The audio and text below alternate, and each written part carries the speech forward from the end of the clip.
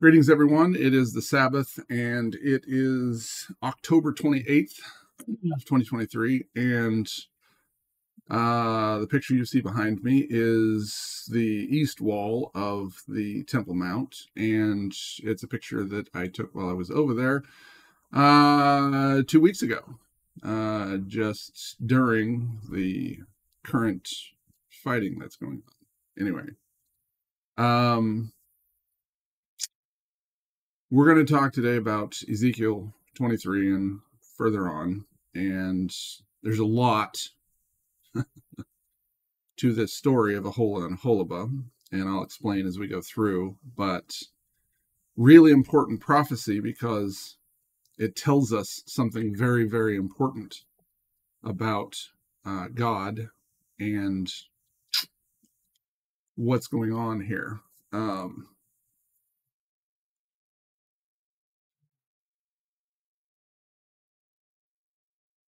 important that we pay attention to this prophecy. So we will start in Ezekiel 23 and verse 1. And the word of the Lord came again unto me, saying, Son of man, there were two women, the daughters of one mother, and they committed whoredoms in Egypt. They committed whoredoms in their youth. There were their breasts pressed. There they bruised the tits of their virginity. And the names of them were Aholah the elder and Aholibah the sister. And they were mine. And they bore sons and daughters, and their names were Samaria Thus were their names Samaria Aholah and Jerusalem Aholibah. And Aholah played the harlot when she was mine, and she doted on her lovers, on the Assyrians, her neighbors, which were clothed with blue, captains and rulers, and all of them desirable young men, horsemen riding upon horses. Thus she committed her whoredoms with them, and with all them that were the chosen men of Assyria, and with all on whom she doted, with all their idols, she defiled herself. Neither left she her whoredoms, neither left she her whoredoms brought from Egypt, for in her youth they lay with her, and they bruised the breasts of her virginity, and poured their whoredom upon her. Wherefore I have delivered her into the hand of her lovers, into the hand of the Assyrians, upon whom she doted. So we look at what's going on here, and we see that Samaria is the northern tribes and we see that uh, they were taken into captivity with the Assyrians, and when they came back, they were called Samaritans, Samaritans or Sumerians, however you Samaritans. So when we look at this on the surface, the story is is pretty clear historically. Um, there's no question about how God views us. And it's never complimentary, extremely rarely complimentary. It's almost always about whoredoms and uh, the worst kind of disloyalty. And when you think about that, it's to be expected because we're human and God is God. However, it's so horrifyingly disturbing what happens with God's people and how we rarely, if ever, do what we're supposed to and actually follow God. We're always following after some pagan idol or something. Or after the lusts of the flesh, or after, you know, whatever's good in one's own sight.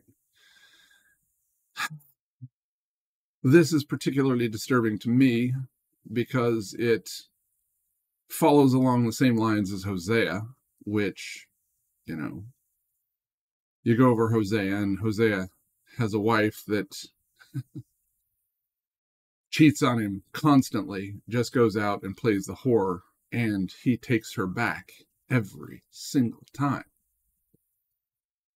And drags her, literally drags her out of these places that are shocking. And when we think about what we would do if our husband or our wife did such things, uh, there are very few people, very, very few people, probably none, who would do what Hosea did. And there is nobody else that will do what God has done, having watched us be disloyal so many, many billions of times. And this whole circumstance, honestly, is enough to make me kind of retch because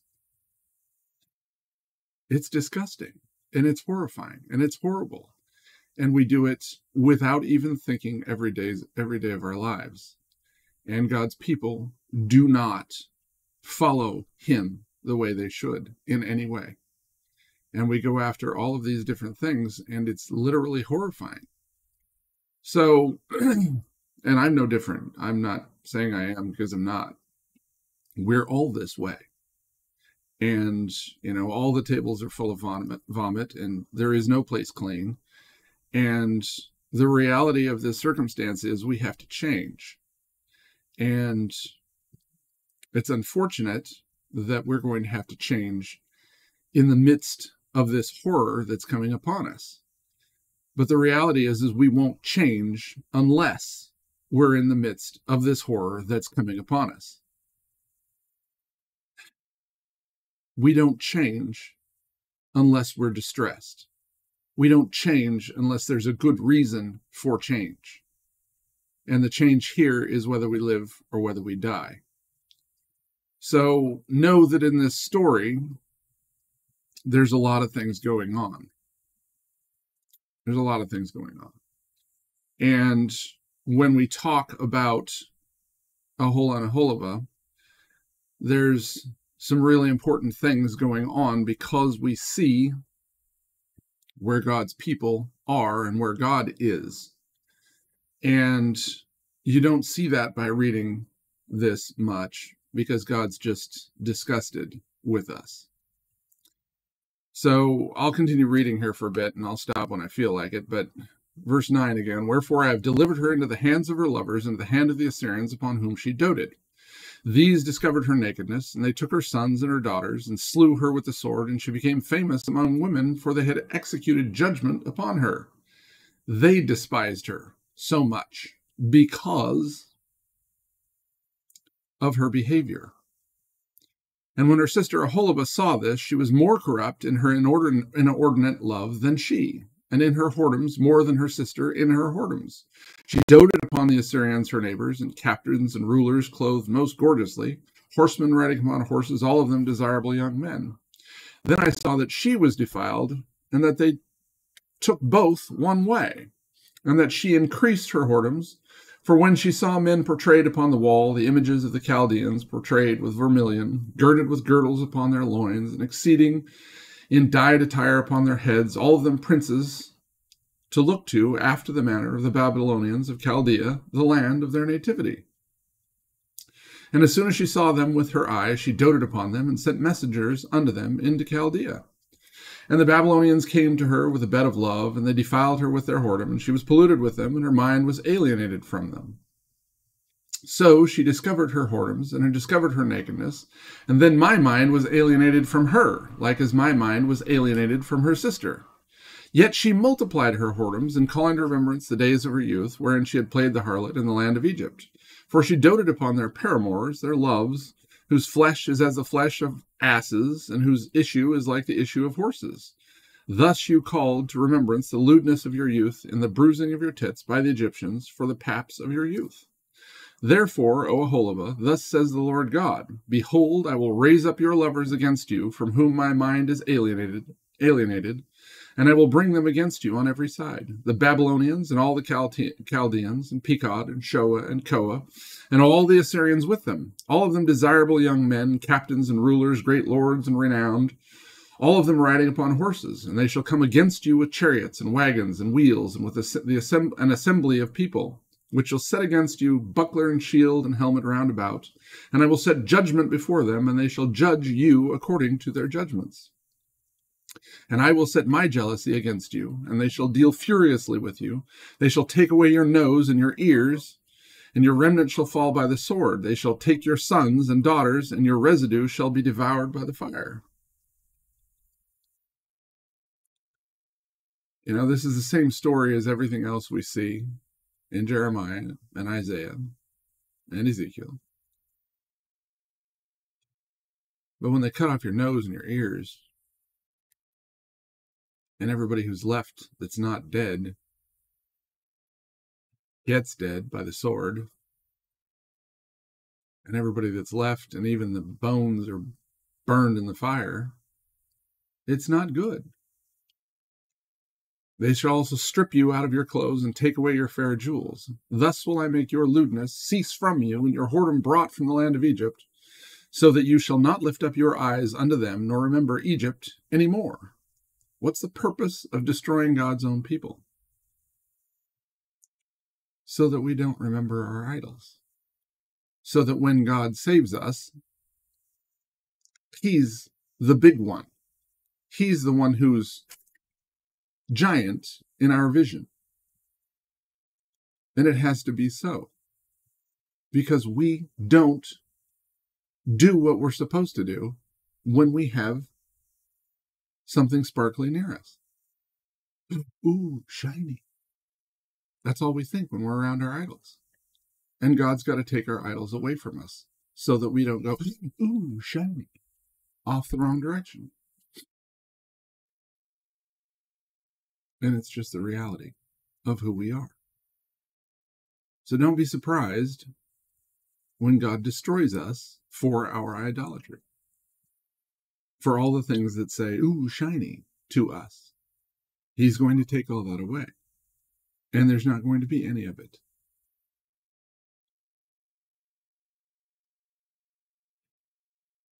Verse 28 For thus says the Lord God, Behold, I will deliver you into the hand of them whom you hate, into the hand of whom of them from whom your mind is alienated. So let's go back for a second and talk about that alienation. when you admire something, when you love something, and you go out and you grasp it, you go out and take it, you go out and involve yourself in it a hundred percent. And then suddenly you realize, oh, this isn't what I expected. This isn't good. You have a change of heart about the thing which you have become involved in. And that's what this alienation is all about. When Israel or Judah or whoever, whomever, got themselves involved in idols so deep what happened? What happened when they got involved that deep? And the reality is, is they gained all of the sorrows of the wicked. All of the sorrows of the wicked. The law did not protect them from a variety of different things. And their sorrows were multiplied. Their children were killed around them. Their children were taken for horrible things they got to the point where they hated being where they were so much that they wanted to go back towards God.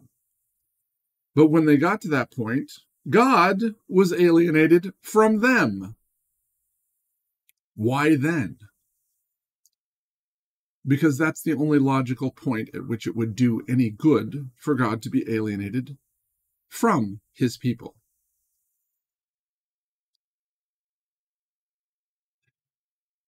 If he'd been alienated before, he would have just killed them and said, Forget this.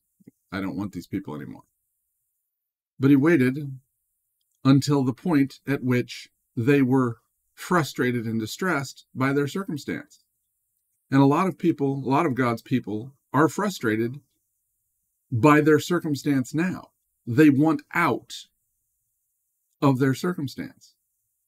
They want to stop doing all of the things that we've been forced to do in slavery in Babylon.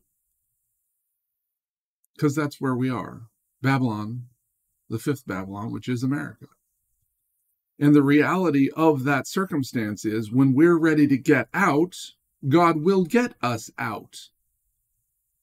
But in the process of doing that, he has to break us down and remove the idols because we want out, but we don't want to let go of our idols. And as long as our idols are with us, God won't be. So we're alienated in our circumstance. We hate the circumstance we're in much, but we're not willing to let go completely. And in fact, we can't. As much as we would like to, we just can't. There's no way to do it. You know, if somebody's independently, extraordinarily independently wealthy, they might be able to go to some country somewhere and live primitively on a farm and not get involved in much of anything. But the reality is, is there's problems with that too. Lots of them. Because in the end, you're not in Jerusalem. You're not in the kingdom of God. You can't create the kingdom of God on your own.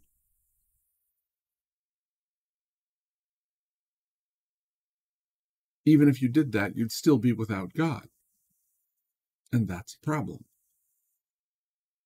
We have to get out of this circumstance, and we can't do it ourselves. And God's solution for this problem is perfect. It's just extraordinarily painful. Extraordinarily painful.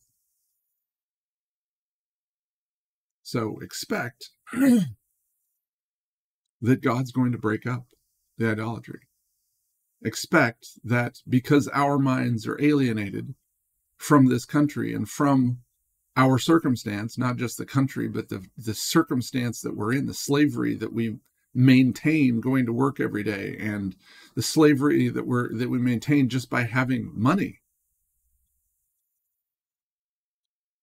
it's all a form of slavery and it's something that god wants to release us from but it's not easy to be let loose in this circumstance what does god say about captivity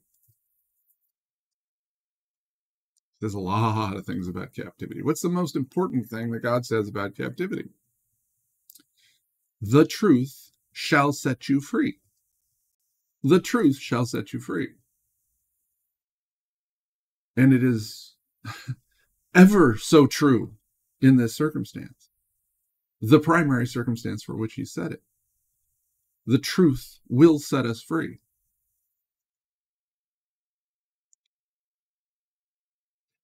Sometimes it's hard to look the truth in the face. And to deal with this properly and appropriately, we have to look the truth in the face, which means we have to examine ourselves and we have to find what our circumstance is. And when we find what our circumstance is, there is a lot of horror and a lot of sorrow and a lot of fear. Because if you feel good about yourself right now, you're in big trouble because you're part of the blind leading the blind or being led by the blind or whatever circumstance it is your blindness is almost certain if you're not scared by current events and by what's going on in the world your brain's not engaged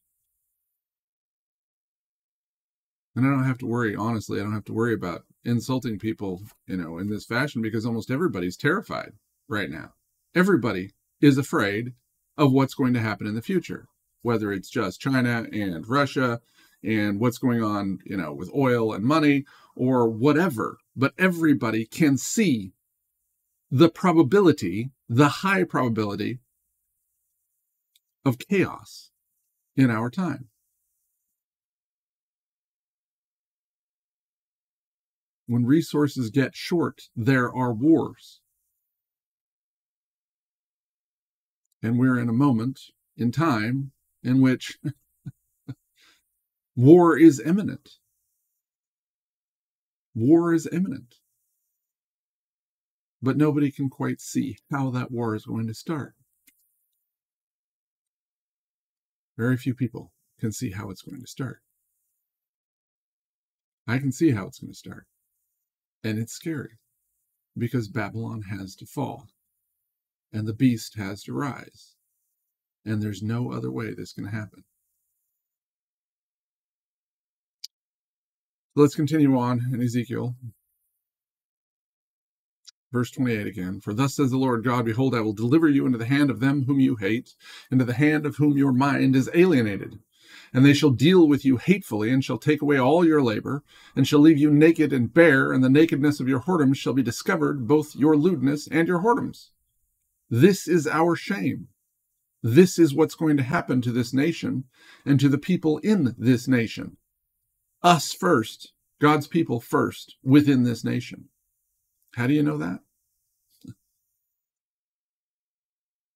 Begin at my sanctuary. Begin at my sanctuary. I will do these things unto you because you have gone a whoring after the heathen and because you are polluted with their idols. You have walked in the way of your sister, therefore I will give her cup into your hand. Thus says the Lord God, you shall drink your sister's cup deep and large. You shall be laughed to scorn and had in derision. It contains much. This is what God's going to do is force feed us. Essentially, the same thing that the Jews discovered in World War II. You shall be filled with drunkenness and sorrow, with a cup of astonishment and desolation, with the cup of your sister Samaria. You shall even drink it and suck it out, and you shall break the sherds thereof, and pluck off your own breasts, for I have spoken it, says the Lord God. You can't escape it when God says he's going to do this. Therefore, thus says the Lord God, because you have forgotten me and cast me behind your back, therefore bear also you also your lewdness and your whoredoms. My people have forgotten me days without number. Because you have forgotten me and cast me behind your back. And we have done this over and over and over. And we have done it while declaring we're doing his will. We lie about everything he says to do and said to do and has asked us to do all the way through. And now Christianity is this light thing that has no strength and has no depth of character, has no power. Mainstream Christianity is a joke. And everyone laughs.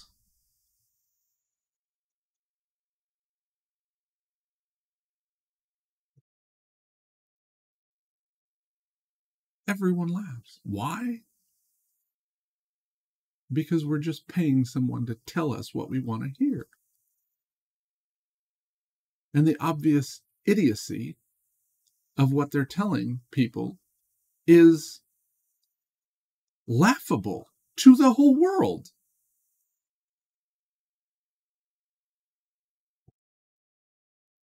It's just tragically sad.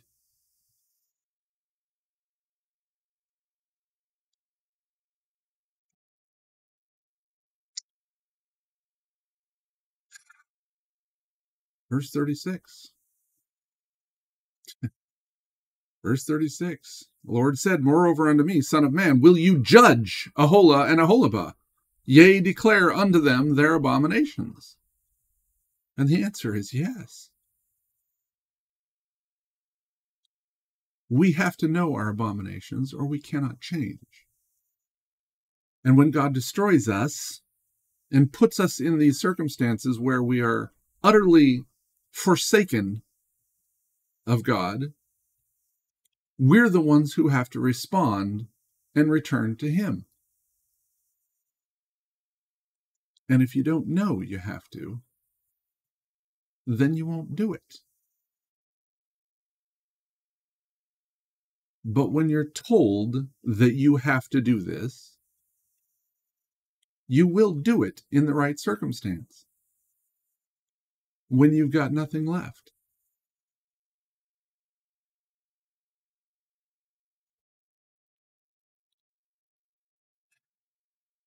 Yea, declare unto them their abominations, that they have committed adultery, and blood is in their hands. And with their idols they have committed adultery, and have also caused their sons, whom they bore unto me, to pass for them through the fire to devour them. We sacrifice our children. And it's not just abortion. That's a big one.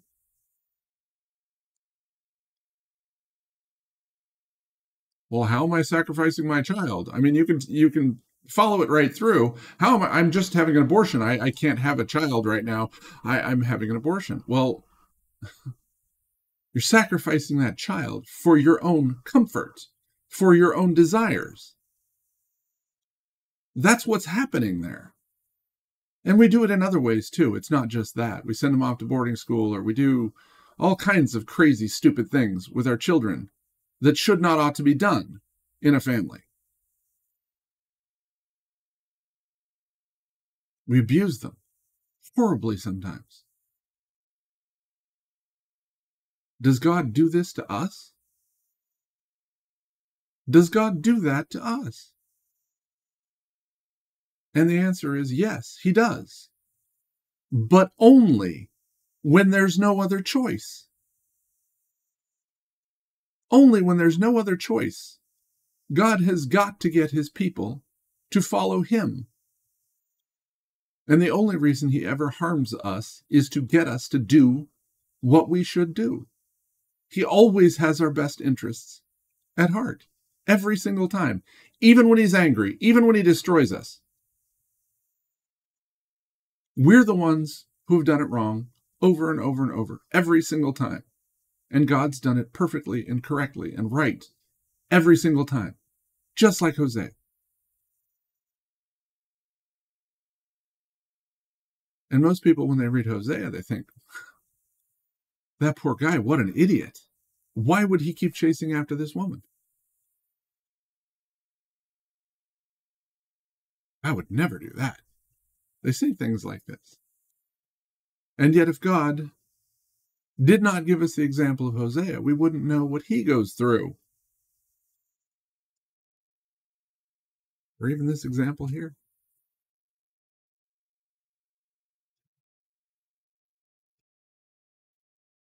Verse 38 Moreover, this they have done unto me.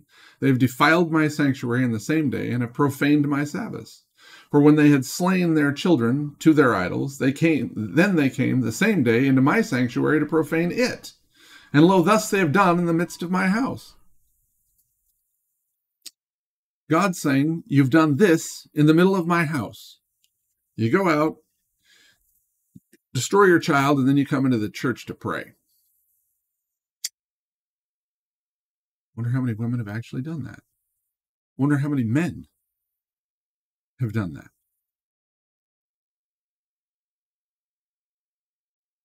You know, look in the mirror. This is where we're at. Regardless of whether you personally did that, this is where our people are.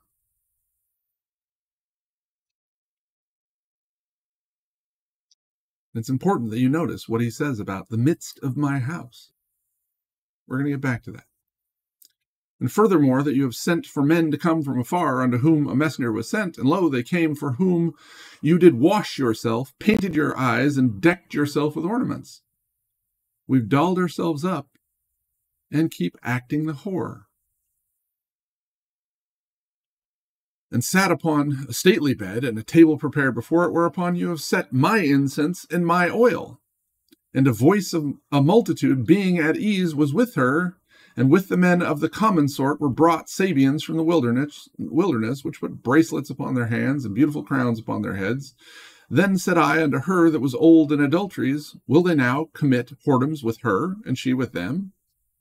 Yet they went in unto her, as they go in unto a woman that plays the harlot. So they went in unto Aholah and Aholibah, the lewd women.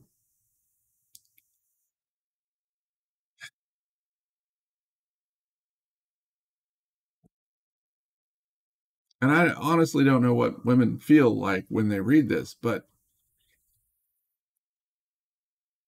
it probably feels really grungy and scummy. It makes me feel that way.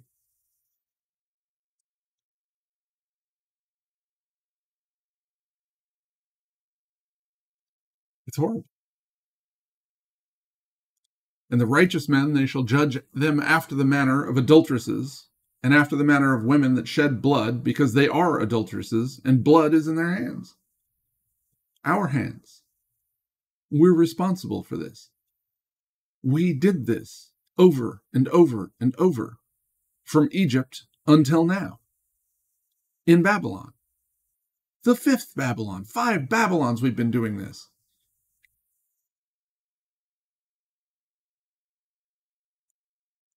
For thus says the Lord God, I will bring up a company upon them, and will give them to be removed and spoiled.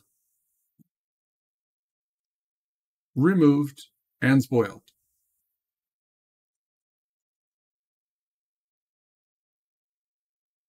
Slaves without anything in a foreign country. And the company shall stone them with stones, and dispatch them with their swords, and they shall slay their sons and their daughters, and burn up their houses with fire. This is what we have chosen as a people over and over and over again. And God's going to give it to us in the end time, in the day of the Lord, in spades. The punishment for all ages comes upon us in the end time. And if you say that's not fair,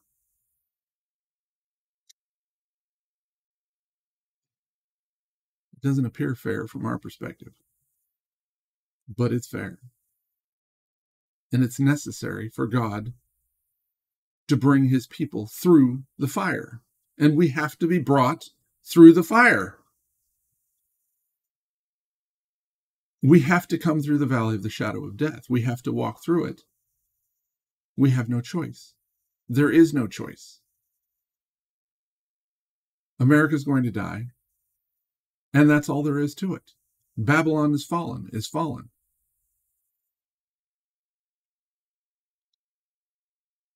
Do we want that? Do we choose that?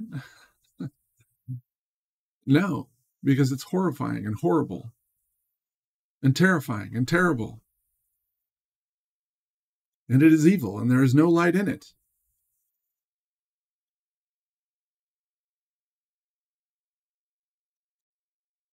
Something that must be endured and can only be endured with God. Thus will I cause lewdness to cease out of the land, that all women may be taught not to do after your lewdness. And they shall recompense your lewdness upon you, and you shall bear the sins of your idols, and you shall know that I am the Lord your God. We will bear the sins of our idols. And most people don't get their own idols. They just don't see them. They just don't understand them. But when you understand that God says that we're going to bear the sins of our idols, and that means that America is going to be destroyed completely, and we're going to go, most of us, into slavery in all the nations of the world then know that there are some things that you need to discover about your idolatry.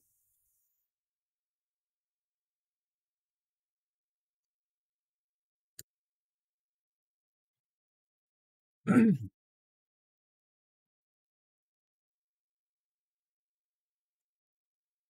when we go back up, we'll talk about a few things here.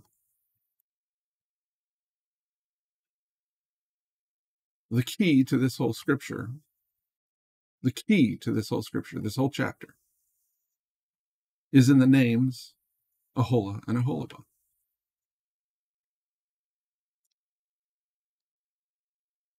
It's absolutely critically important that you understand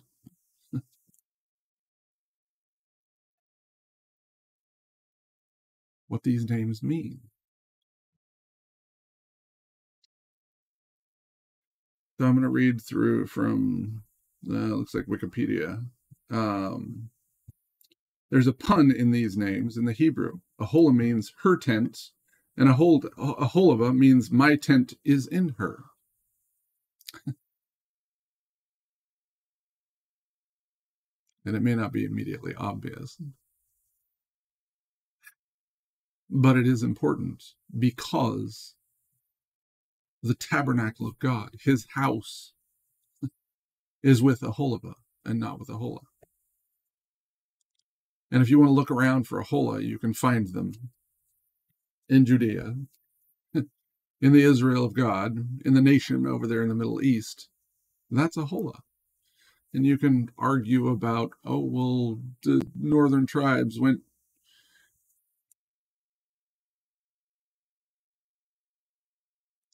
the reality is is that's who they are and you want to talk about the samaritans and oh they were with the assyrians and you know judah hated them when they came back and yeah, okay whatever. The reality is there's not a single jew in this world right now well maybe not a single one. There are almost no jews in this world right now who know who they are. There are no Jews in this world who can prove who they are. And they've all been scattered in the midst of the nations. And they've all done exactly what happened to, Assyria, to the northern tribes who went into Assyria. That's the circumstance. That's the reality of it. And where's Aholibah? Aholibah Jerusalem is in the midst of America. There's no doubt about that. There's no question about that. I'm not going to go through all the scriptures again, but there's no doubt about that. And what's important is that God's tent is in her. God's tabernacle, God's house is in her. As polluted as she is, that's where God's house is. Why? It should be obvious. It should be very obvious. We know who our Messiah is. We know who he is. We've read the Gospels. We know what's going on in the New Testament. And Hola,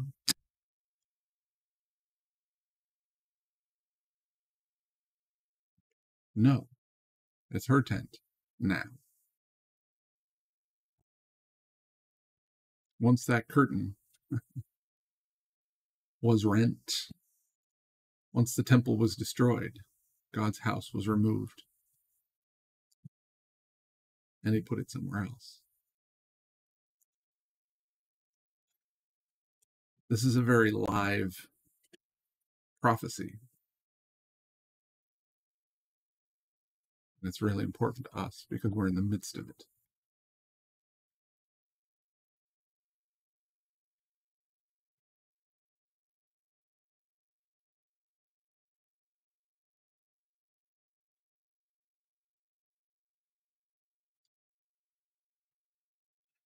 Verse 38 Moreover, this they have done unto me. They have defiled my sanctuary in the same day and have profaned my Sabbaths.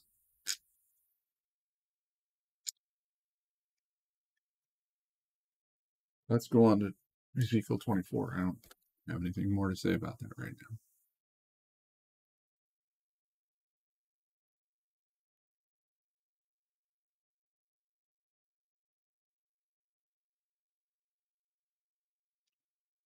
So let's read Ezekiel 24, verse 1. And again, in the ninth year, in the tenth month, in the tenth day of the month, the word of the Lord came unto me, saying, Son of man, write you the name of the day, even of this same day, the king of Babylon set himself against Jerusalem this same day. And utter a parable unto the rebellious house, and say unto them, Thus says the Lord God, Set on a pot, set it on, and also pour water into it. So we have the famous metaphor of a pot of water set on the fire to boil. Hmm. Gather the pieces thereof into it, even every good piece, the thigh and the shoulder, fill it with choice bones. So we're making a stew. Take the choice of the flock and burn also the bones under it, and make it boil well, and then let them boil the bones of it therein. Wherefore, thus says the Lord God Woe to the bloody city, to the pot whose scum is therein, whose scum is not gone out of it. Bring it out, piece by piece, and let no lot fall upon it. Nothing escapes. Nothing gets lucky and draws.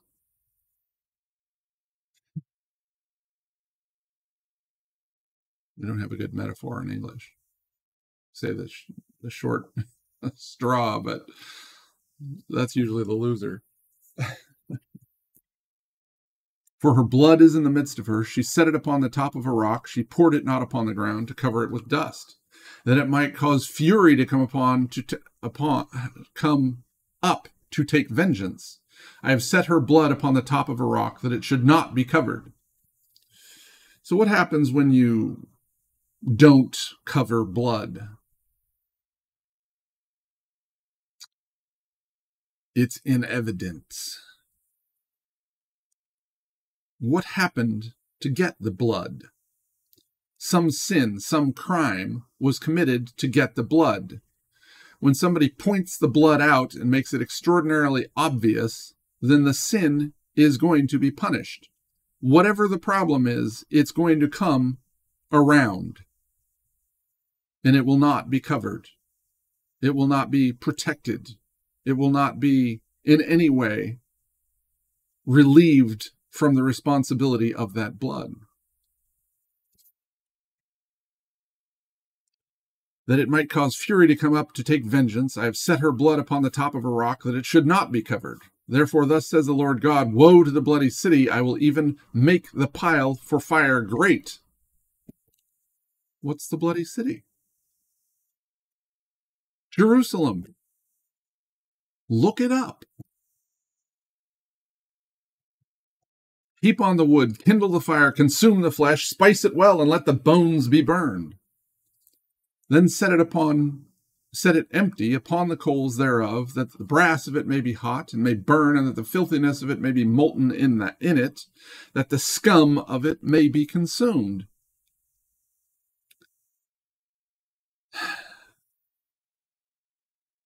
God's willing to destroy it all to get rid of the scum. He's willing to destroy it all to get rid of the scum. He doesn't want cockroaches in his kingdom. The scum's got to go. And yet we will remain if we do what we're supposed to do. Yet not one grain shall fall to the earth. God's not willing to let one of his good ones fall to the earth. But the scum's got to go. She has wearied herself with lies, and her great scum went not forth out of her. Her scum shall be in the fire. God's going to destroy the scum. In your filthiness is lewdness, because I have purged you, and you were not purged. You shall not be purged from your filthiness any more till I have caused my fury to rest upon you. This is a prophetic statement. You shall not be purged from your filthiness any more till I have caused my fury to rest upon you. Don't care what you do, you will not be purged of your sin until God has caused his fury to rest upon us. That's a promise. As much as you might like to try and get clean, you won't succeed. And that seems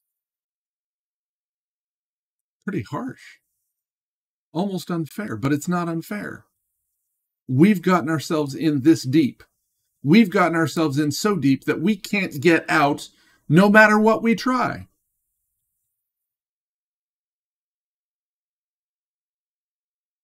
So God's got to do it for us and it's not going to be without pain.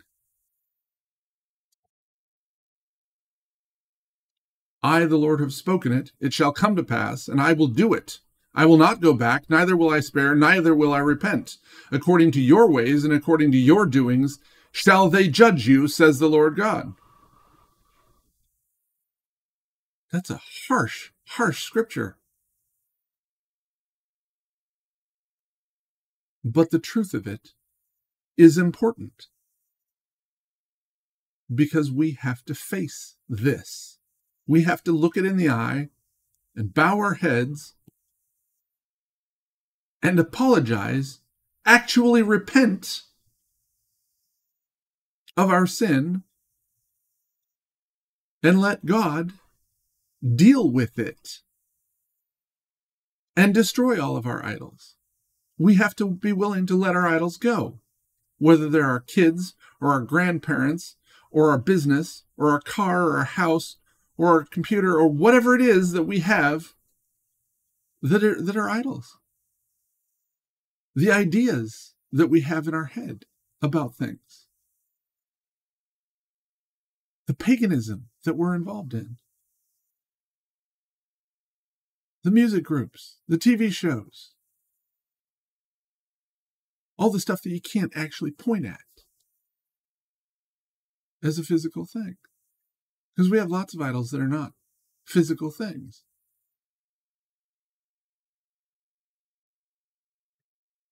I'm going to read verse 14 again. I, the Lord, have spoken it. No, I'm going to read 13 and 14. In your filthiness is lewdness, because I have purged you, and you were not purged. You shall not be purged from your filthiness any more till I have caused my fury to rest upon you. I, the Lord, have spoken it. It shall come to pass, and I will do it. I will not go back, neither will I spare, neither will I repent. According to your ways and according to your doings shall they judge you, says the Lord God. They being the beast.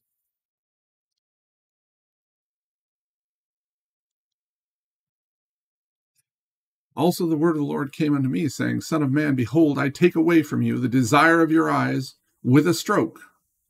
Yet neither shall you mourn nor weep, neither shall your tears run down. God killed Ezekiel's wife. Dead. Boom. And said, No, you're not going to weep. And you're going to shed no tears. Forbear to cry. Don't cry. Make no mourning for the dead. Bind the tire of your head upon you, and put on your shoes on your feet, and cover not your lips, and eat not the bread of men. This is a prophecy. And it's going to come to us. You say, well, how is this going to come to us? There's going to come a point here very soon when it's not possible to mourn the dead. And there are many things in Jeremiah that describe it in depth, clearly. But the reality is, the people around us who die are just going to lie there dead, and we're going to have to move on. Shell shocked, super PTSD, we're going to have to move on. We're going to have to walk away from the dead while they dry up and the crows eat their eyes out. This is how it's going to be.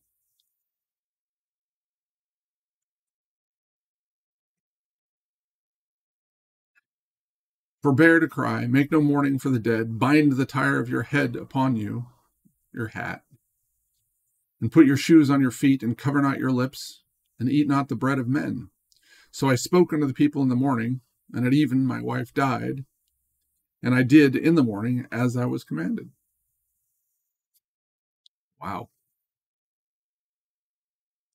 And the people said unto me, Will you not tell us what these things are to us?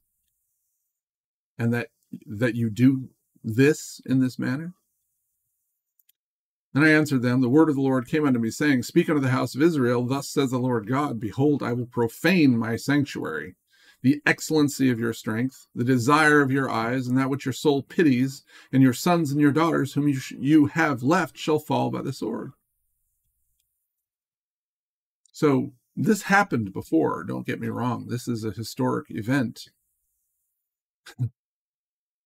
but that should just tell us how important this last iteration is. Because our sons and our daughters whom you have left, whom we have left, shall die by the sword. Lots of them, not all of them.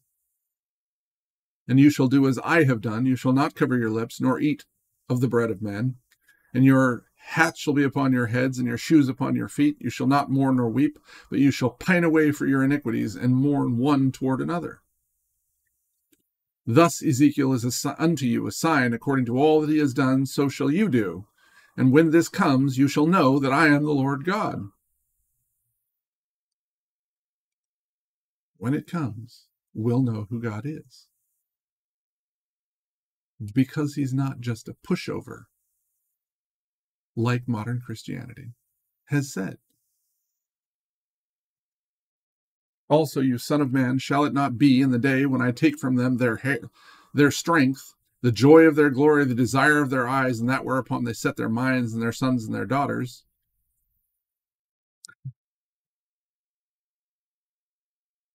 America is still the most powerful nation in the world, and we're proud of that. And it's going to be taken from us, and we're going to become the least in the world. that he that escapes in that day shall come unto you to cause you to hear it with your ears. Question mark. To cause it to hear cause you to hear it with your ears? in that day shall your mouth be open to him which is escaped, and you shall speak, and be no more dumb, and you shall be a sign unto them, and they shall know that I am the Lord.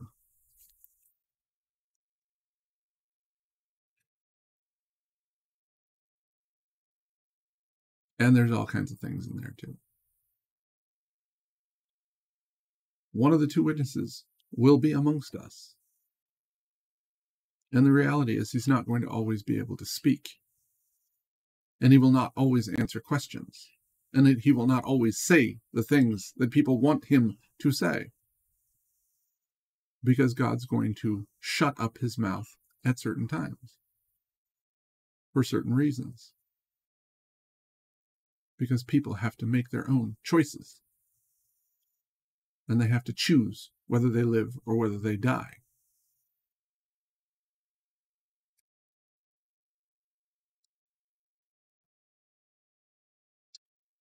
Ezekiel 25.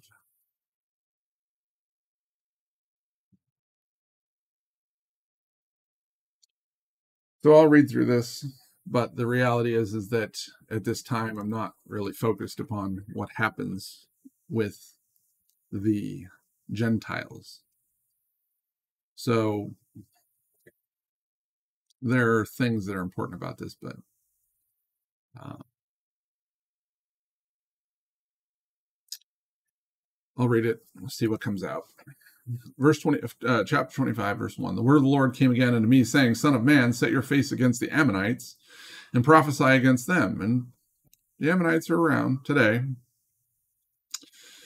And say unto the ammonites hear the word of the lord god. Thus says the lord god because you said aha against my sanctuary when it was profaned and against the land of israel when it was desolate and against the house of judah when they went into captivity because you cheered and said, Yes, when all these things happened. Behold, therefore, I will deliver you to the men of the east for a possession, and they shall set their palaces in you, and make their dwellings in you. They shall eat your fruit, and shall drink your milk. And I will make Rabbah a stable for camels, and the Ammonites a couching place for flocks.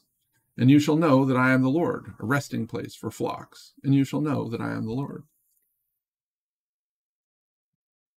God says he's going to do a lot of different things with a lot of different people. The Ammonites are not going to get the best end of the deal. Verse 6 For thus says the Lord God, because you have clapped your hands and stamped with your feet and rejoiced in heart with all your despite against the land of Israel. Behold, behold, therefore, I will stretch out my hand upon you and will deliver you for a spoil to the heathen, and I will cut you off from the people, and I will cause you to perish out of the countries. I will destroy you, and you shall know that I am the Lord. Moab. So, when we're talking about these people, we're talking mostly about the Jordanians and maybe some of the Saudis and, you know, people in this area, the Syrians, Lebanese, not saying they're all them, but these people that are around, directly around Israel are most of these. And there's some that are elsewhere as well. But to Moab, verse 8, thus says the Lord God, because that Moab and Seir do say, Behold, the house of Judah is like unto all the heathen, therefore, behold, I will open the side of Moab from the cities, and from his cities which are on his frontiers, the glory of the country, Beth Jeshimoth, and Baal Meon, and Kiriathaim, unto the men of the east with the Ammonites, and will give them in possession, that the Ammonites may not be remembered among the nations. And I will execute judgments upon Moab, and they shall know that I am the Lord. Ammonites and Moab. This is mostly Jordan. Edom. Thus says the Lord God, because that Edom has dealt against the house of Judah by taking vengeance, and has greatly offended, and revenged himself upon them. Therefore, thus says the Lord God, I will also stretch out my hand upon Edom, and will cut off man and beast from it, and I will make it desolate from Teman, and they of Dedan shall fall by the sword. And I will lay my vengeance upon Edom by the hand of my people Israel, and they shall do in Edom according to my anger, and according to my fury, and they shall know my vengeance, says the Lord God. And this is one of those circumstances in which God is going to cause his own people to destroy a nation. And this is likely just after the beginning of the kingdom of God begins. Um, and there are other places where it talks about this. This is not in isolation. And I will lay my vengeance upon Edom by the hand of my people Israel. So when it says, you know, the least of them shall be as David, and the greatest of them shall be as God, this is what it's talking about, among other things the Philistines, the Palestinians, thus says the Lord God, because the Palestinians have dealt by revenge and have taken vengeance with a despiteful heart to destroy it for the old hatred. Therefore, thus says the Lord God, Behold, I will stretch out my hand upon the Palestinians, and I will cut off the cherethims and destroy the remnant of the seacoast, Gaza. And I will execute great vengeance upon them with furious rebukes, and they shall know that I am the Lord when I shall lay my vengeance upon them.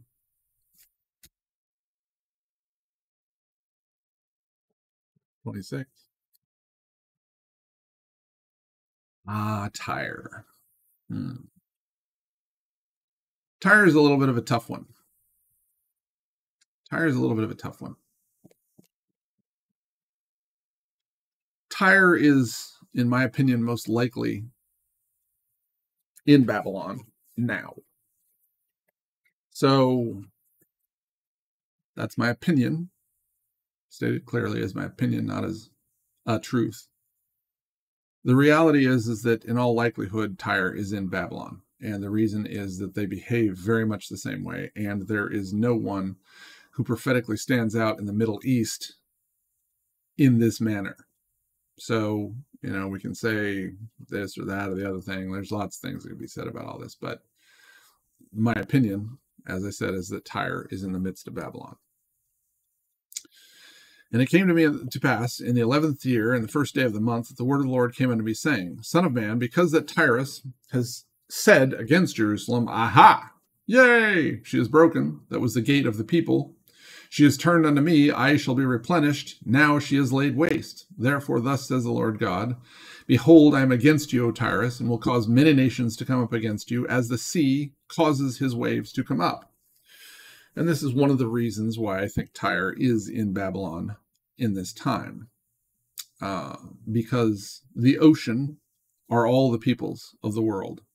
And the destruction of Tyre is almost precisely exactly the same as the descriptions of the punishment of Babylon. So take it for how you will. Verse 4 And they shall destroy the walls of Tyrus and break down her towers. I will also scrape her dust from her and make her like the top of a rock. It shall be a place for the spreading of nets in the midst of the sea. For I have spoken it, says the Lord God, and it shall become a spoil to the nations, all the nations. And her daughters which are in the field shall be slain by the sword, and they shall know that I am the Lord. For thus says the Lord God Behold, I will bring upon Tyrus Nebuchadnezzar, king of Babylon, a king of kings from the north, with horses and with chariots and with horsemen and companies and much people. And he shall slay with the sword your daughters in the field, and he shall make a fort against you, and cast a mount against you, and lift up the buckler against you. And he shall set engines of war against your walls, and with his axes he shall break down your towers. By reason of the abundance of his horses shall their dust cover you. Your walls shall shake with the noise of the horsemen and the wheels and of the chariots, when he shall enter into the gates as the men enter into a city wherein is made a breach, which is a pretty rough thing to happen to a city. With the hooves of his horses shall he tread down all your streets, and he shall slay the people, your people, by the sword, and with strong garrison, your, your strong garrison shall go down to the ground.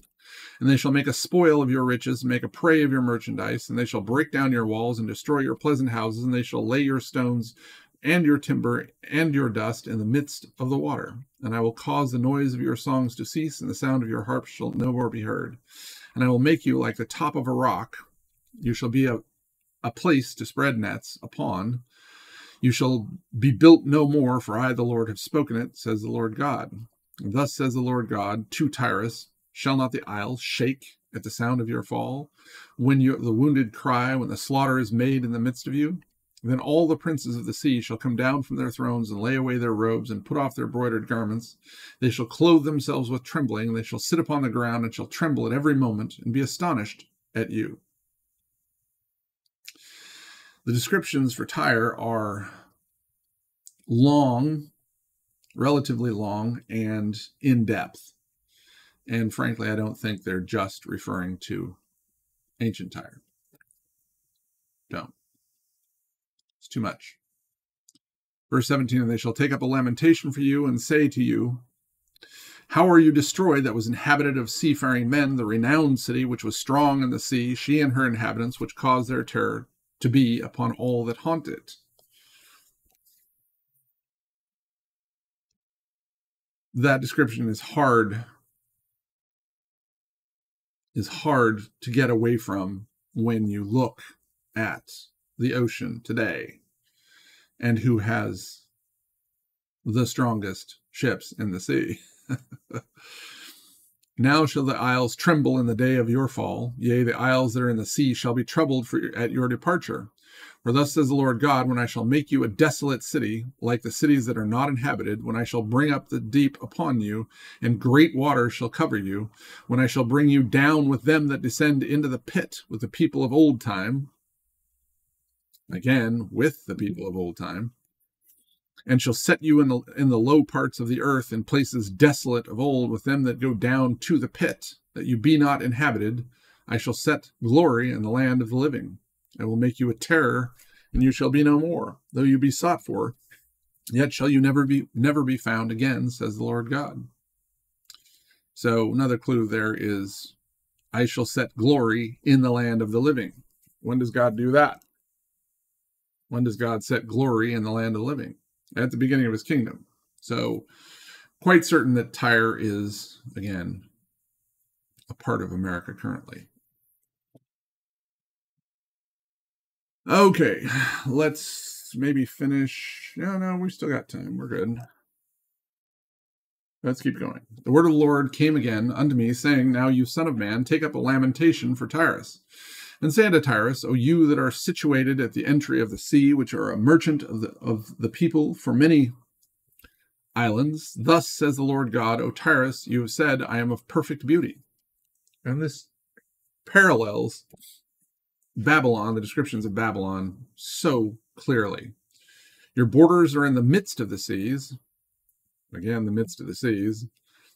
Your builders have perfected your beauty. They have made all your ships boards of fir trees from Senir. They have taken cedars from Lebanon to make masts for you, and of the oaks of Bashan have they made your oars. The company of the Ashurites have made your benches of ivory brought out of the isles of Chittim. So when you read these descriptions, you know, whether it's here or Revelation 17 and 18 or wherever, it's talking about something that was built or made with the finest things. And Tyre, both historically and you know in these scriptures, uh, was described that way, just as Babylon was.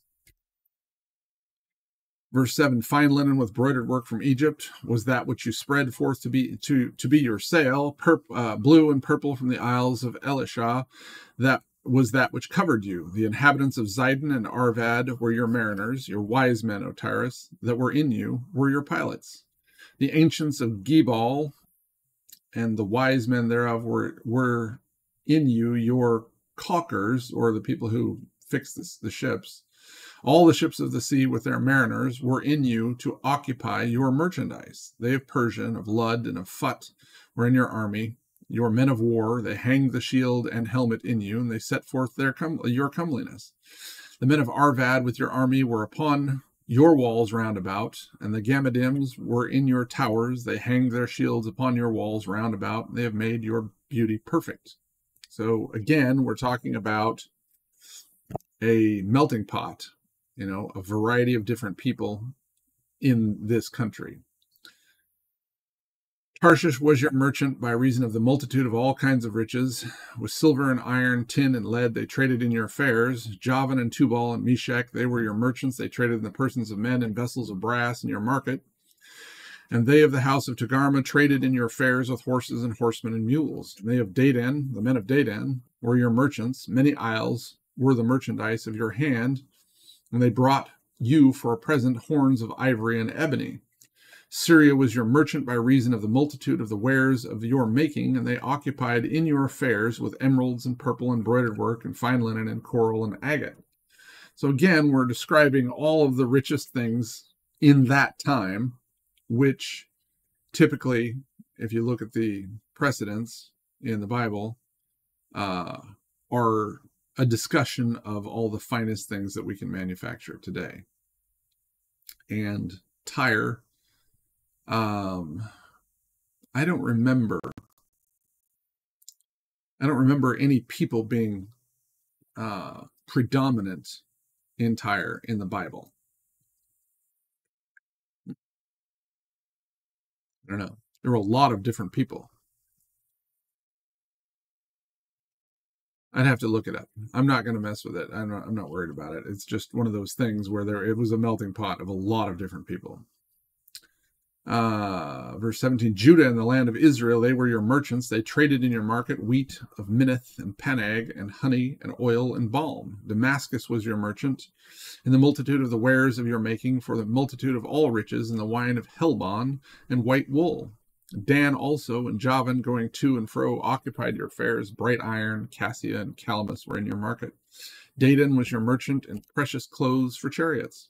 And Arabia and all the princes of Kedar they occupied with you in lambs and in rams and in goats, and these were your merchants. Were they your merchants? The merchants of Sheba and Ramah, they were your merchants. They occupied in your affairs with chief of all spices and all with all precious stones and gold and Haran and Cana and Eden and the merchants of Sheba, Asher, and Chilmad were your merchants.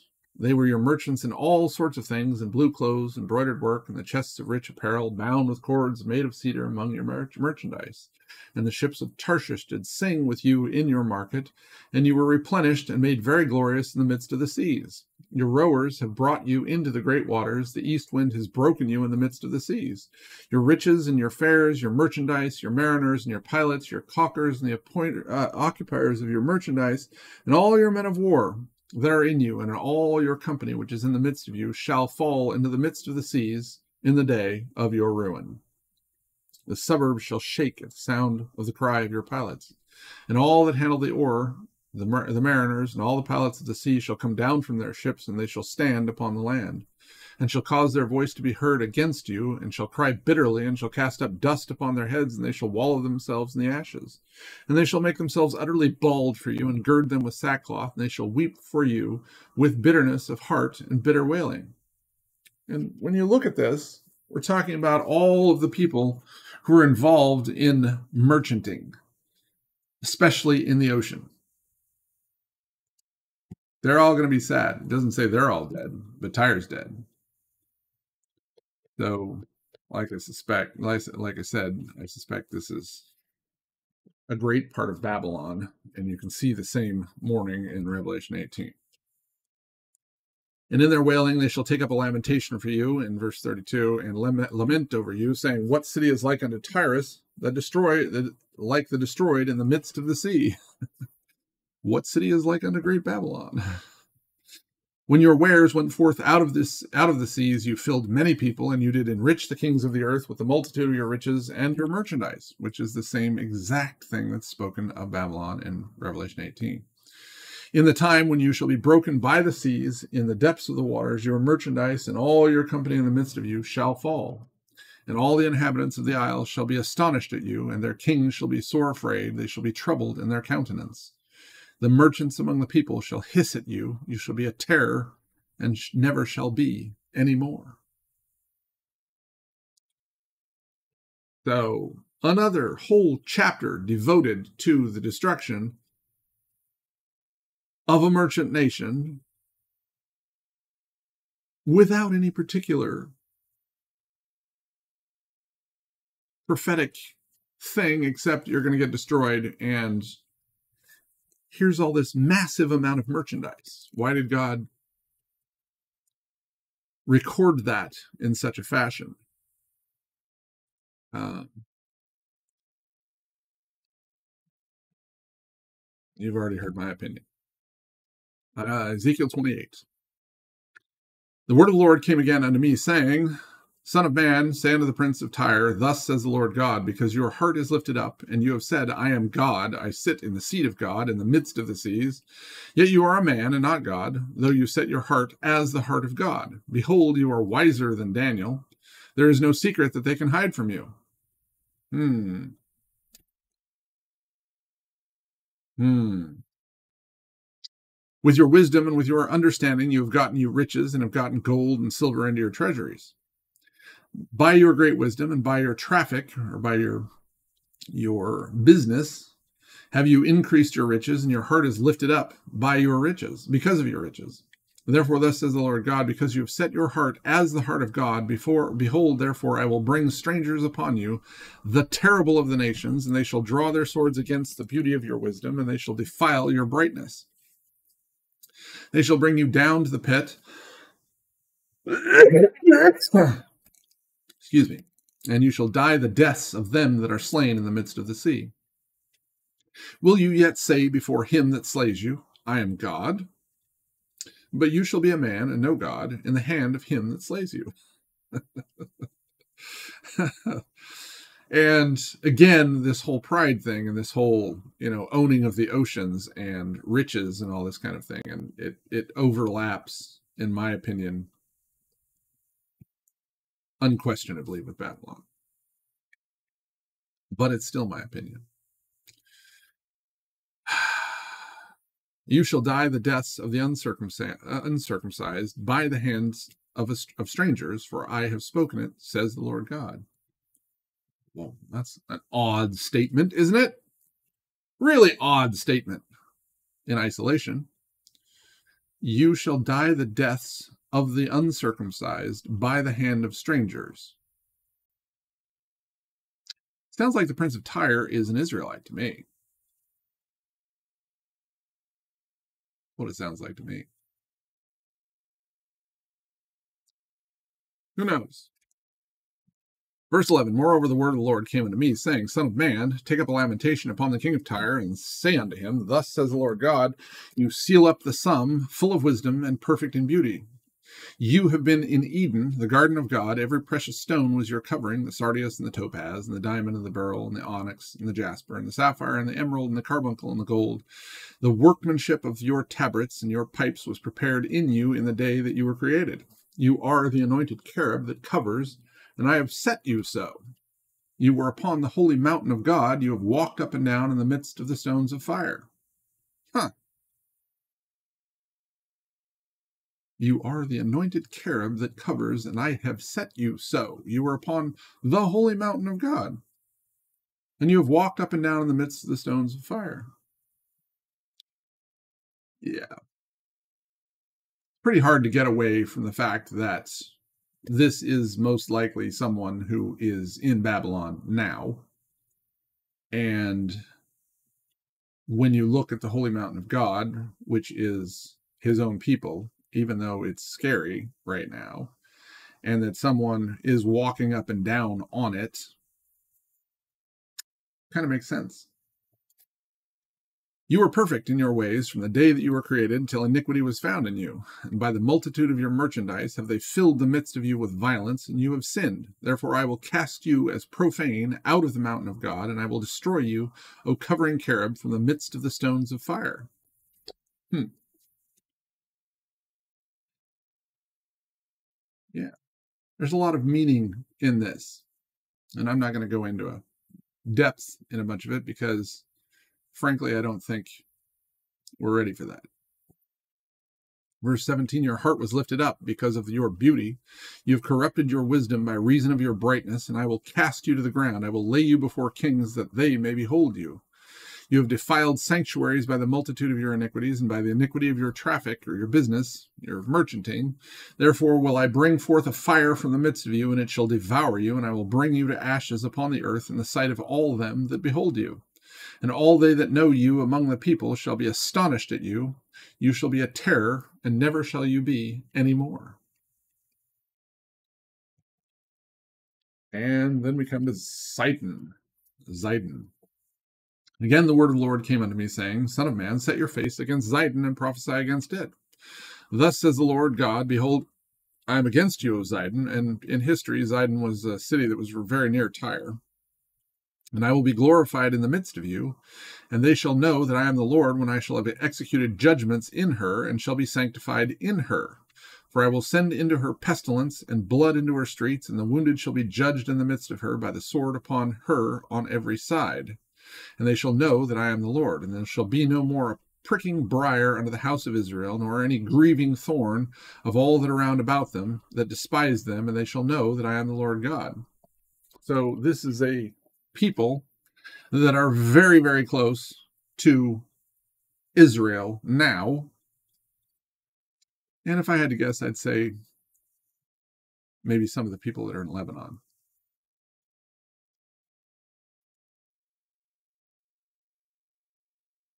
Probably. Ezekiel 28, verse 25. Thus says the Lord God, when I shall have gathered the house of Israel from the people among whom they are scattered, and shall be sanctified in them in the sight of the heathen, then shall they dwell in their land that I have given to my servant Jacob. Okay. so, again, this is a big one that puts everything together, and it establishes a timeline. And there's some really important things in here. Thus says the Lord God, when I shall have gathered the house of Israel from the people among whom they are scattered. So the house of Israel is scattered. And when you look at the end time and in the context of the destruction, which is what we're all talking about all the way through here, this is the second end Exodus. So this is the time after the 42 months uh, of being trodden underfoot by the beast and God regathers the houses of Israel from the people among who they're scattered. So they're scattered to the four corners of the of the, of the world, and God hunts and fishes for them and brings them back at that time. So when God does that, and this is Israel, it doesn't say Jerusalem. This is Israel, though there will be those of Jerusalem with them. Uh, they shall be sanct and hmm, let me read it again. Thus says Lord God, when I shall have gathered the house of Israel from people, the people among whom they are scattered, and shall be sanctified in them in the sight of the heathen. So,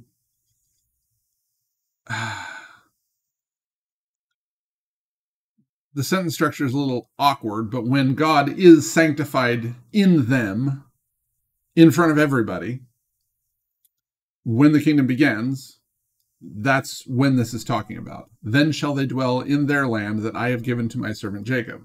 Why Jacob? Because Judah and Israel are then back together. And Israel as a whole, God calls Jacob. Because it's obvious that Jacob, Israel, and Judah are one. It's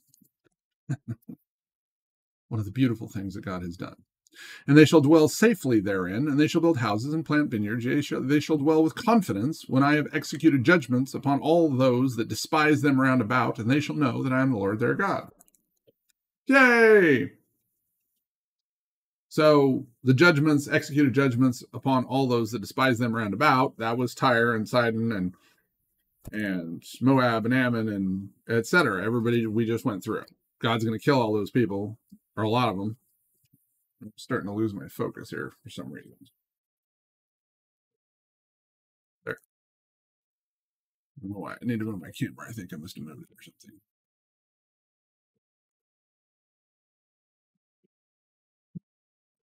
All right, guys. Yep. There it came into focus. All right. Um.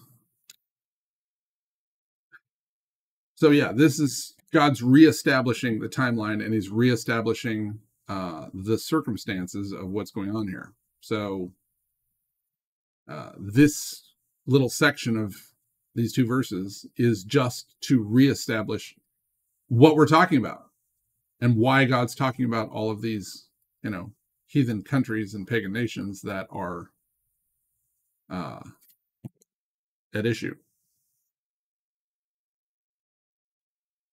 And let's go to chapter 29. And we're not at 2 o'clock yet, so we're still doing pretty well on time.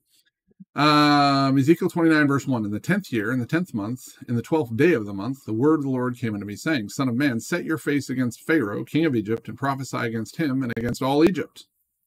Speak and say, Thus says the Lord God, Behold, I am against you, Pharaoh, king of Egypt, the great dragon that lies in the midst of his rivers, which has said, My river is my own, and I have made it for myself. But I will put hooks into your jaws, and I will cause the fish of your rivers to stick under your scales, and I will bring you up out of the midst of your rivers, and all the fish of your rivers shall stick under your scales. And I will leave you thrown into the wilderness, you and all the fish of your rivers. You shall fall upon the open fields, and you shall not be brought together nor gathered. I have given you for meat to the beasts of the field and to the fowls of heaven. And all the inhabitants of Egypt shall know that I am the Lord, because they have been a staff of reed to the house of Israel a staff of reed to the house of Israel. You get what that means, right? When you have a staff and you go walking and you go walking across country and everything, you want a nice sturdy stick that will hold up when you walk along and climbing a hill and, you know, and when your foot slips and you can hold on to your stick and whatnot. But a reed kind of bends and breaks. Mm. It's not strong enough for the purpose, and neither is Egypt to Israel or to the people of God in the end time. And there are many things in Isaiah that are written about Egypt, and there are many things in Ezekiel and in Jeremiah that are also written about Egypt. And the reality is, is that Egypt cannot help us. And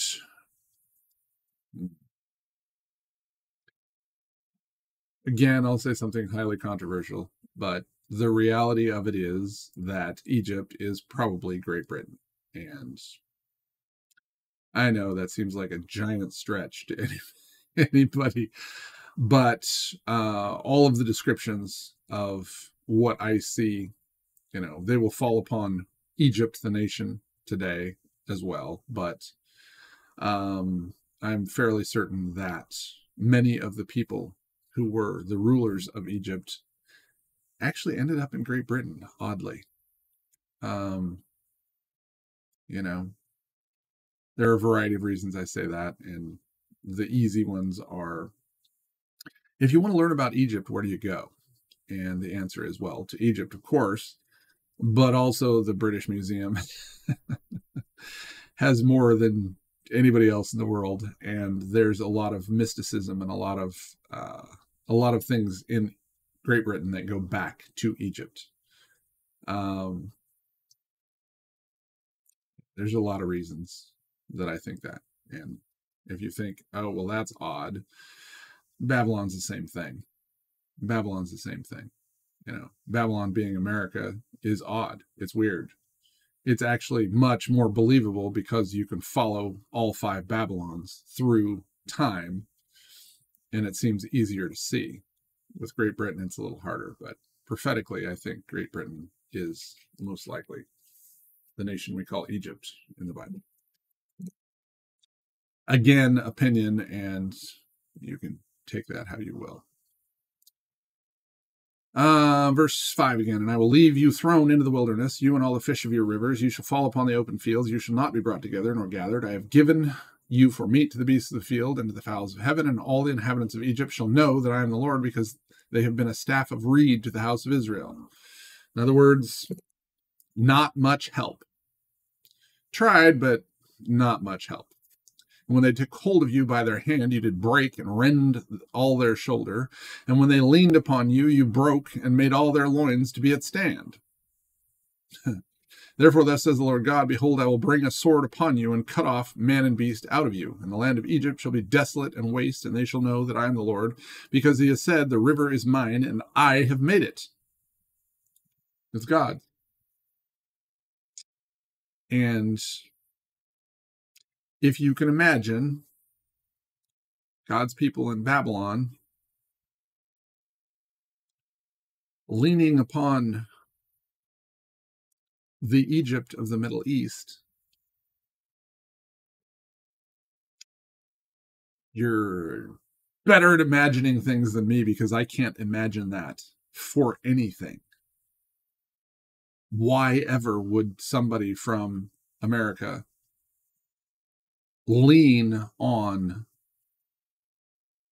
Egypt as a savior in any form. It doesn't make any sense. So take it for what it is. Verse 10 Behold, therefore, I am against you and against your rivers, and I will make the land of Egypt utterly waste and desolate from the tower of Syene even to the borders of Ethiopia. No foot of man shall pass through it, nor foot of beast shall pass through it, neither shall it be inhabited forty years.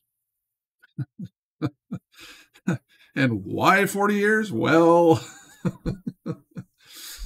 think back to the Israelites. And I will make the land of Egypt desolate in the midst of the countries that are desolate, and her cities among the cities that are laid waste shall be desolate forty years. And I will scatter the Egyptians among the nations, and will disperse them through the countries. So when God says all these things, he means them. And they will happen the way he says. The thing is that all of this stuff still happens. In the end, when the kingdom comes, there's still the Egyptians and the Israelites and the Assyrians. Those are the three big kingdoms in God's kingdom. So, not the rulers or anything, but they're the three large countries. So when God says all this, you know, there's still going to be these people and they're scattered among the nations in form kind of like the Israelites. But the timing of all this stuff is what's different. So you got to look at it and look at it and look at it. And there's a lot of things There's a lot of things that's going that are going on. Verse 13, yet, yet thus says the Lord God, at the end of the 40 years I will gather the Egyptians from the people where they were scattered, and I will bring them again, bring again the captivity of Egypt, and will cause them to return into the land of Pathros, into the land of their habitation, there, and they shall be there a base kingdom. So, regardless of everything that happens to the Egyptians and Britons, if you want to say, if you can manage to say that without a smile, um, will return to their own land in Egypt along the Nile and be a base kingdom. It shall be the basest of kingdoms of the kingdoms. Neither shall it exalt itself any more above the nations, for I will diminish them, that they shall no more rule over the nations. And yet they will be a large nation within God's kingdom, even though they rule no one. It shall be no more the confidence of the house of Israel, which brings their iniquity to remembrance, when they shall look after them, but they shall know that I am the Lord God. So, whatever nation Egypt is in this end time, know that it can't bring confidence to the house of Israel. And Egypt, as it is in this time, would never, ever no no nobody of God's people would ever have confidence in the nation which is called Egypt today on the Nile.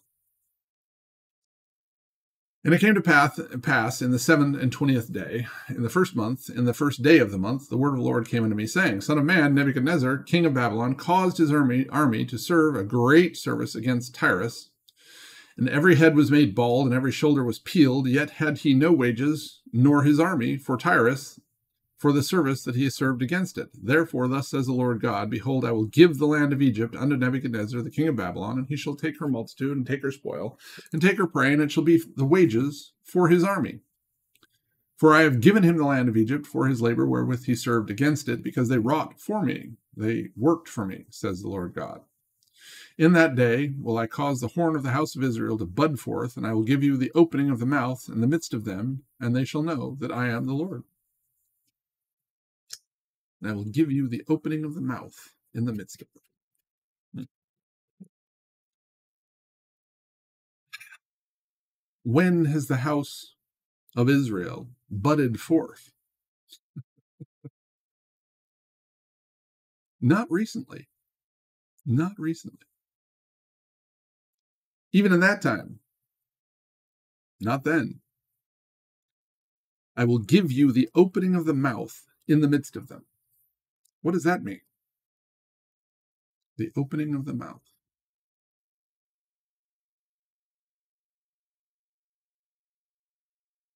Hmm. I'm reluctant to say anything about that actually at this moment.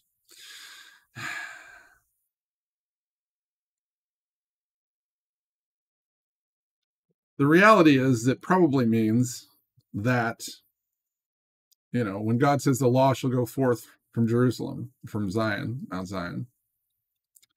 When someone is given the opportunity to open their mouth, to speak, and everyone hears, that's what I read this to be.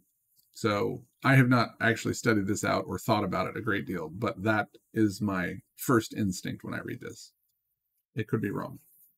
I haven't thought about it much, and I have not looked for precedents in the Bible. I think we have time to do chapter 30.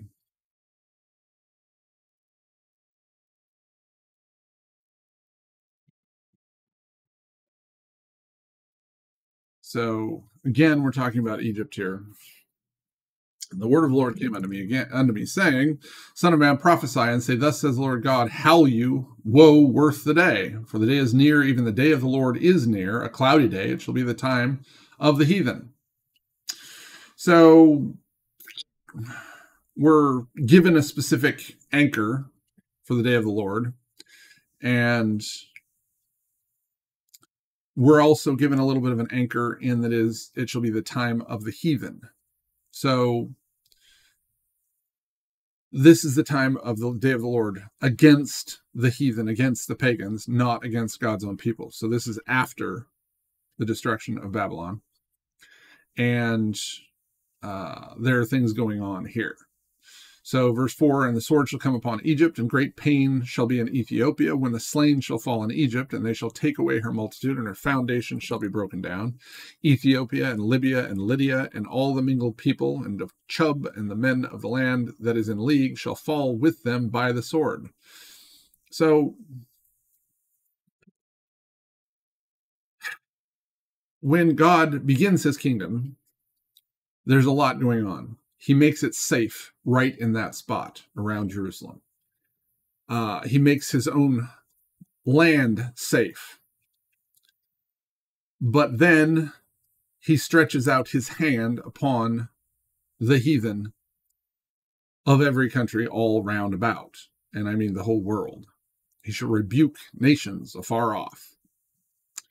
And this is at the same time that he's bringing his own people back into you know the glory of Israel and raising them up as the as the tallest nation in the world. So know that the two witnesses are going to be busy uh, in their ways, and probably the first of the two witnesses is going to be dealing with a lot of this stuff, just like Jeremiah.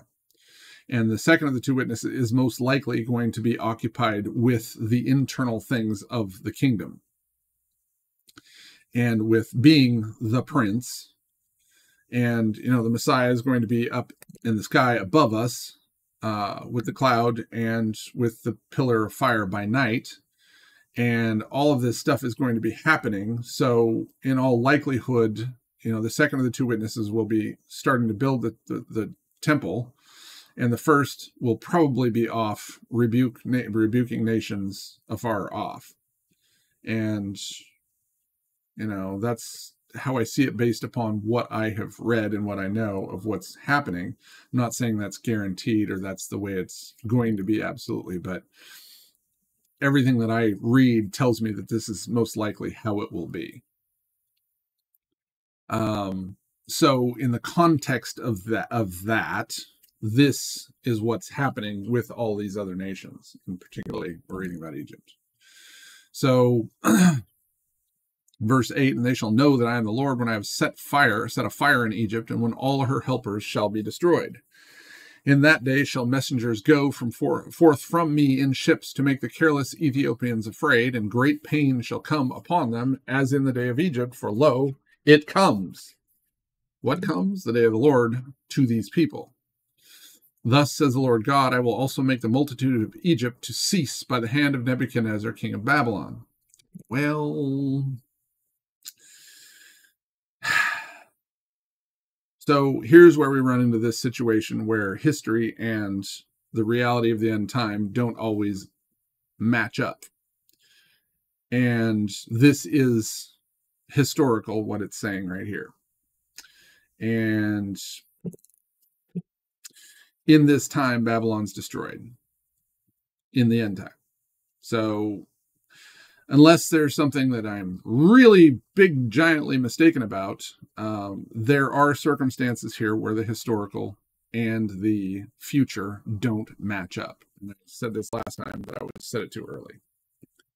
Um, believe what you will.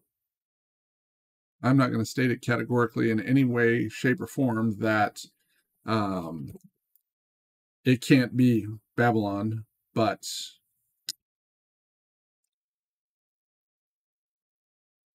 Babylon's dead by the time God's kingdom arises. So it is what it is. Verse 11 He and his people with him and the terrible of the nation shall be brought to destroy the land, and they shall draw their swords against Egypt and fill the land with the slain. And I will make the rivers dry and sell the land into the hand of the wicked, and I shall make the land waste and all that is therein by the hand of strangers, I, the Lord, have spoken it. Thus says the Lord God, I will also destroy idols, the idols, and I will cause their images to cease out of Noph, and there shall be no more prince in the land of Egypt, and I will put, put fear in the land of Egypt. So I will cause their images to cease out of Noph. What does everybody see when they think of Egypt? they see pyramids and they see all these pictures of Noph and Tahpanhes and all the different things, and this hasn't occurred yet. So, unless something happens here dramatically before the destruction of Babylon, which is possible, I can't really see America destroying Egypt at this time. Hard to hard to imagine a circumstance where America just attacked Egypt all of a sudden. It's possible. Possible, but I'm having a hard time picturing it. I'm having a hard time picturing. It. Verse 14, I will make Pathros desolate and will set fire in Zoan and will execute judgments in No. And I will pour, pour my fury upon Sin, the strength of Egypt, and I will cut off the multitude of No. And I will set fire in Egypt. Sin shall have great pain, and No shall be rent asunder, and Noph shall have distresses daily. And the young men of Aven and of Pibeseth shall fall by the sword, and these cities shall go into captivity. At Tahpanhes also the day shall be darkened when I shall break there the yokes of Egypt, and the pomp of her strength shall cease in her. As for her, a cloud shall cover her, and her daughters shall go into captivity. Thus will I ex- execute judgments in Egypt, and they shall know that I am the Lord. So, victory for Babylon. And again, this is, in my opinion, historic unless there's something really big that happens here very shortly.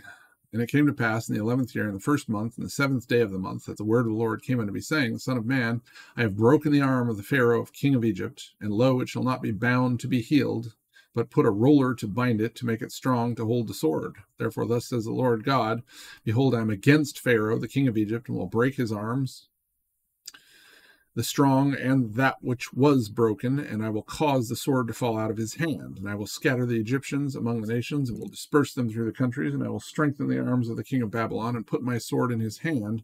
But I will break Pharaoh's arms, and he shall groan before him with groanings of a deadly wounded man. But I will strengthen the arms of the king of Babylon, and the arms of Pharaoh shall fall down, and they shall know that I am the Lord when I shall put my sword into the hand of the king of Babylon, and he shall stretch it out upon the land of Egypt. And I will scatter the Egyptians among the nations and disperse them among the countries, and they shall know that I am the Lord. I really think this is just a historic statement, this one. I could be wrong. Um, but everything I see tells me that, in all likelihood, Britain is the Egyptians of the end time, and this does not jibe with that, which means either my theory is wrong or uh, there's something else going on. Put a big question mark by it, honestly. It'll be clear at some point.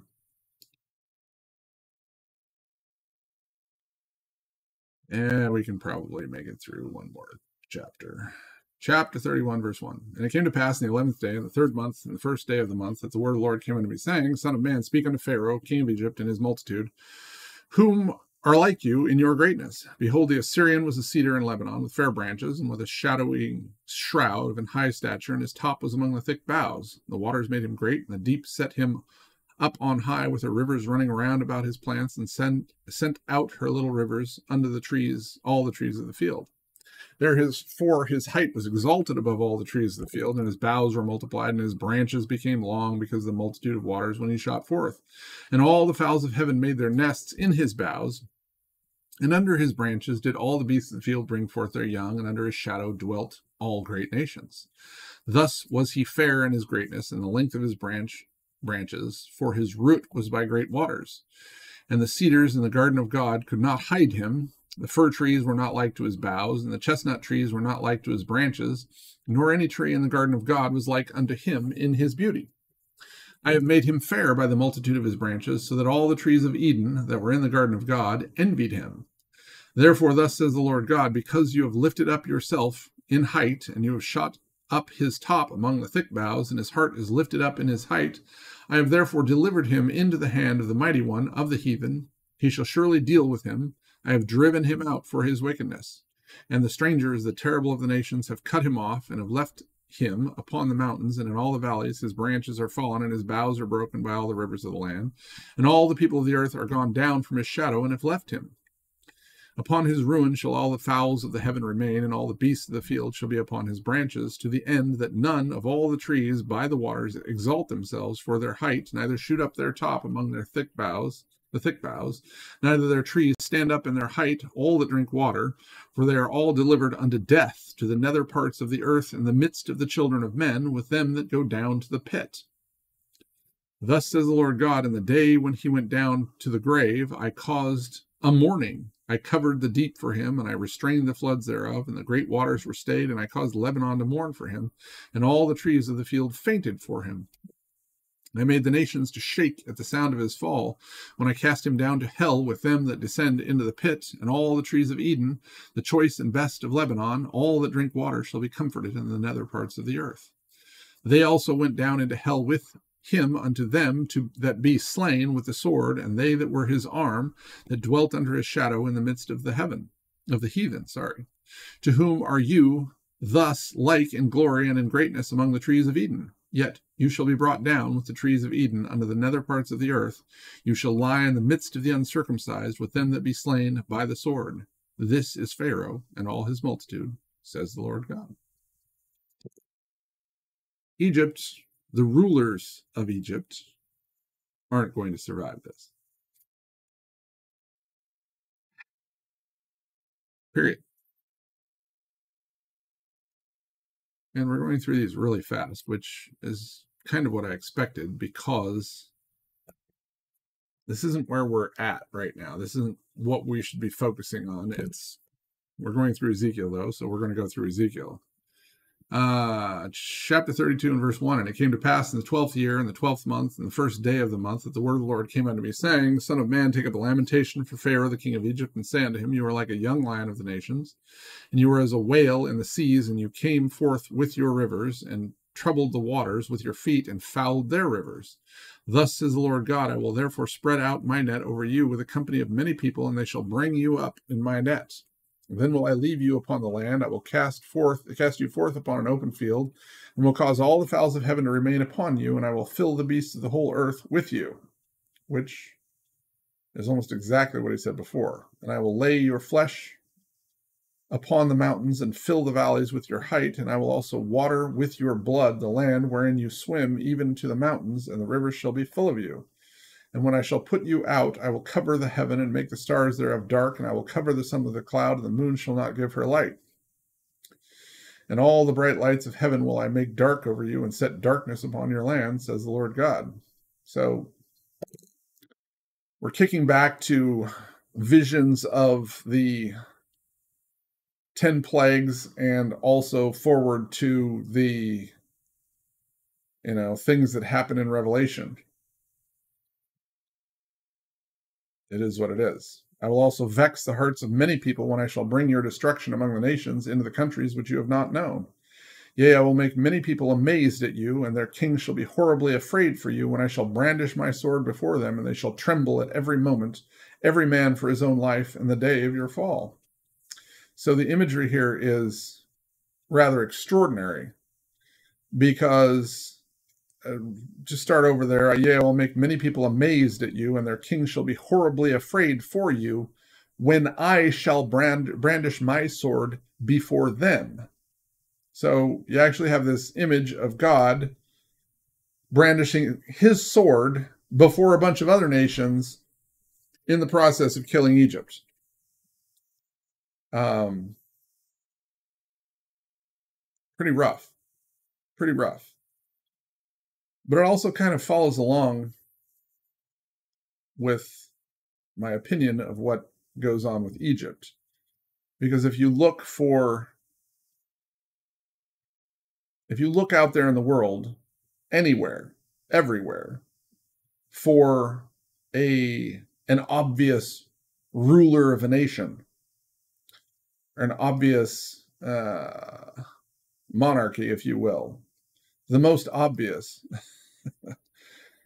clear rulership of any land that we have in the world is that of Great Britain and of the current king. So, eh, whatever it's worth.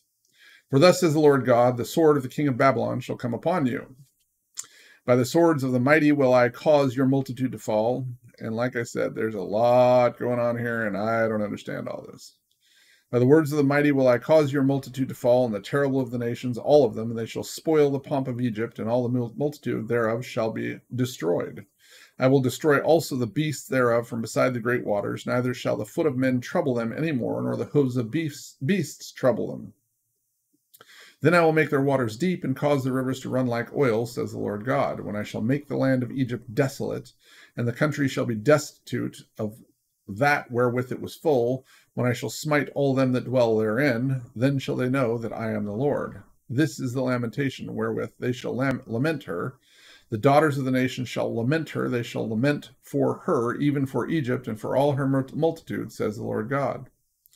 And it came to pass also in the twelfth year, in the fifteenth day of the month, that the word of the Lord came unto me, saying, Son of man, wail for the multitude of Egypt, and cast them down, even her, and the daughters of the famous nations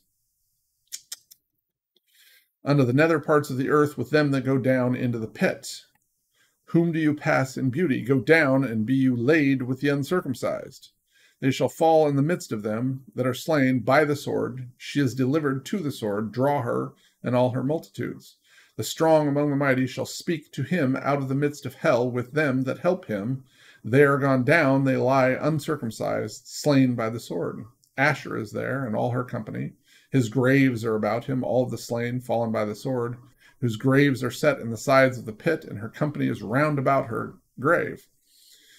All of them slain, fallen by the sword which caused terror in the land of the living. There is Elam and all her multitude round about her, around about her grave, all of them slain, fallen by the sword which are gone down uncircumcised into the nether parts of the earth, which caused their terror in the land of the living. Yet have they borne their shame with them that go down to the pit. They have set her a bed in the midst of the slain with all her multitude, her graves around about him, all of them uncircumcised, slain by the sword, though their terror was caused in the land of the living, yet have they borne their shame with them that go down into the pit. He is put in the midst of them that be slain. So you got to stop for a minute and talk about this, you know, slain, uncircumcised, in the pit when God says you go down into the pit, you go down into the pit. That's it. This is the bottomless pit. This is this is death. And not just death for the first time, but death eternal. So when you're talking about all this, you're talking about all these people who were were pagan heathens that caused their terror in the land of the living and are now dead and dead. So know that this is a serious thing, and yet God still is describing it in this strange way. And when he talks about Babylon, Babylon doesn't even get any of the any of the respect that these people get. So this is an ugly, ugly circumstance. And personally, I don't want to be a pagan that causes terror in the land of the living. Verse 26 There's Meshech and Tubal, and all her multitude, her graves round about him, all of them uncircumcised, slain by the sword, though they caused their terror in the land of the living and they shall not lie with the mighty that are fallen of the uncircumcised, which are gone down to hell with the weapons of war, and have laid their swords under their heads, but their iniquities shall be upon their bones, though they were the terror of the mighty in the land of the living. Yea, you shall be broken in the midst of the uncircumcised, and shall lie with them that are slain by the sword. There is Edom, her kings, and all her princes, which with which with their might are laid by them that were slain by the sword. They shall lie down with the they shall lie with the uncircumcised and with them that go down to the pit. There be the princes of the north all of them and all the zidonians which are gone down with the slain. With their terror they are ashamed of their might and they lie uncircumcised with them that be slain by the sword and bear their shame with them that go down into the pit. Pharaoh shall see them and shall be comforted over all his multitude, even Pharaoh and all his army, slain by the sword, says the Lord God. For I have caused my terror in the in the land of the living, and he shall be laid in the midst of the uncircumcised with them that are slain with the sword, even Pharaoh and all of his multitude, says the Lord God.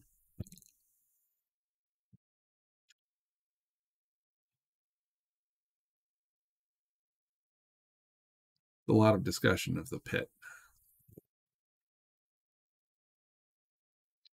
So we're going to stop there because we're not starting into Ezekiel 33 on that note. so we're going to stop now and see you next time.